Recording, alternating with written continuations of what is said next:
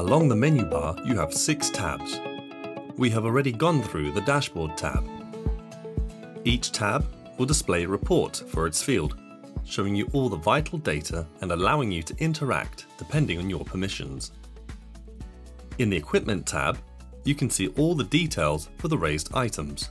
To view the equipment details, click on the document icon located to the right of the row. In a new browser window, the details page is displayed. To raise a job, click on the spanner icon next to the document icon. This will open up a window in a new browser.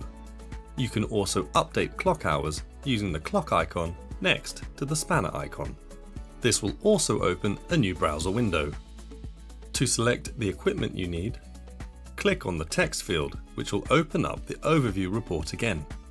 Click on the equipment you want and add the clock hours.